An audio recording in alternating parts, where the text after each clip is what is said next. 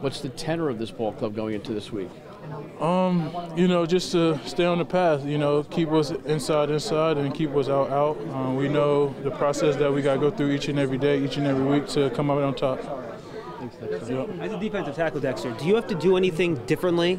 Consider McCaffrey versus Henry. Obviously, they're, they're two great backs, but they're absolutely very different backs too. Uh, I say, you know, as a defensive lineman, we just got to de- defeat the block that's in front of us first, and then you know find the ball. Uh, you know, at the end of the day, the running backs coming out of the backfield, they both coming out of the backfield. So I think in that sense, it's easy, it's a little, a little the same. Um, but you know, with him, he's a little more slipperier. He can squeeze out, catch the ball too. So it's like getting 11 guys to the ball always. It looked like early in that game they were doing a lot of quick game, a lot of RPO stuff too. Mm-hmm.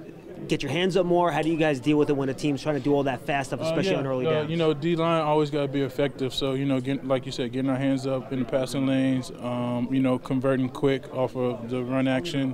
Um, you know, just continue to do our job, play our techniques. What'd you see from their offensive line against the Browns, watching them on tape? Um, you know, they did a lot of, like you said, quick games, things like that. Uh, you know, we got to get a lot of pressure up the middle and get it in front of Baker. He's a little shorter guy, so you know, getting our hands up, affecting him would disrupt the game.